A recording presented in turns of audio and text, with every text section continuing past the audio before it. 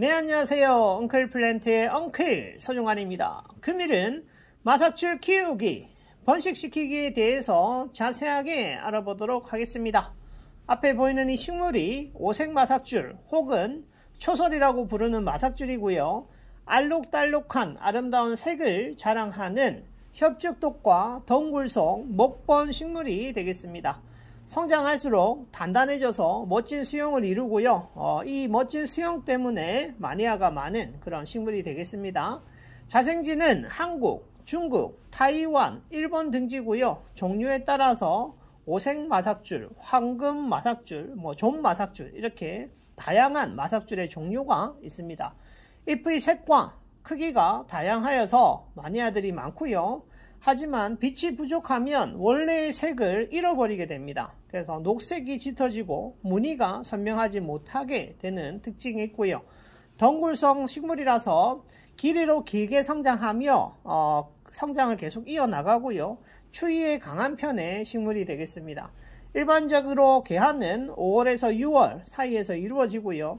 아름다운 바람개비 모양의 작은 꽃을 보입니다. 자세한 내용 보시러 출발하겠습니다. 출발! 마삭줄의 빛입니다. 마삭줄은 품종에 따라서 요구되는 빛의 양이 조금씩 다르지만 일반적인 경우에 울창한 숲, 나무 그늘 아래에서 왕성하게 성장하던 식물입니다. 그래서 partial shade 구간에서 full sun 구간까지 잘 성장을 할 수 있고요. 투과된 간접광이 6시간 이상 들어오는 곳부터 직사광선이 오전을 기준으로 6시간 이상 들어오는 곳까지 스펙트럼을 넓게 잡으셔가지고 어, 성장을 잘 하는 그런 식물이고요. 빛이 적은 곳에서 성장을 잘 할 수 있기 때문에 빛 관리가 쉬운 그런 식물입니다. 하지만 빛이 너무 작아지면 무늬가 없어지고 짙은 색의 녹색만 이렇게 좀 어두운 그런 잎의 색이 좀 어둡게 바뀌게 됩니다. 개인적으로는 빛을 늘려서 선명한 무늬와 단단한 잎을 오래 보시길 권해드립니다.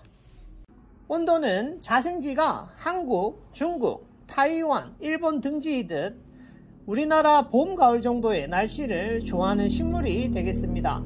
바이틈이나 나무에 뿌리를 내려서 기어가듯 성장하던 GP 식물이기 때문에 특징을 잘 살려서 키워주시고요.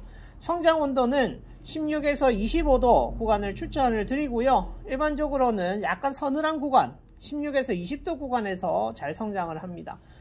어, 겨울철에 강해서 어, 영하의 온도에서도 잘 견딜 수가 있고요. 제가 사는 부산에서는 노지에서 쉽게 보실 수 있습니다. 모종으로 화분에 키우시는 경우에 겨울나기 온도를 조금 더 높여서 키워주시면 되겠습니다. 마삭줄의 물주기입니다. 물주기는 계절에 따라서 달리 해주시는 것이 좋고요. 성장기에는 겉흙을 4분의 1 정도 말려서 물주기를 해주시고요. 여름 장마 기간과 겨울로 갈수록 물주기를 줄여주시기 바랍니다. 나무젓가락이나 도구를 이용해서 흙을 파보시고요. 어, 겉흙이 마르는 것을 충분히 확인하시고 관수를 해주시는 것이 좋고요. 마삭줄이 성장할수록 가뭄에 강한 성질을 가지기 때문에 어, 성장한 것들은 특히나 더 가습이 일어나지 않도록 해주시는 것이 좋습니다. 가습하거나 빛이 부족한 경우에 쉽게 하엽이 지며 엉성하게 성장할 수 있습니다. 적절한 물주기와 흙말리기는 식물의 성장에 도움이 됩니다. 흙은 배수가 잘 되는 흙을 추천을 드립니다. 자생지에서 성장하는 경우에 자연 환기와 빛의 조절로 수분을 적절히 유지할 수 있지만 특히 실내에서는 과습의 주의가 필요하므로 어, 배수가 잘 되는 흙에 심어주시면 좋습니다.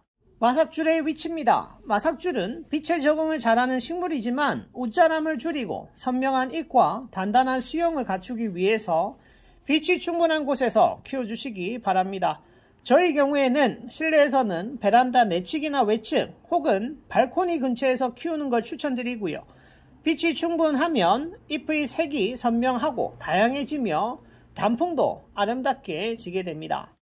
번식하는 방법입니다. 번식은 가정에서 삽목으로 가능하겠습니다.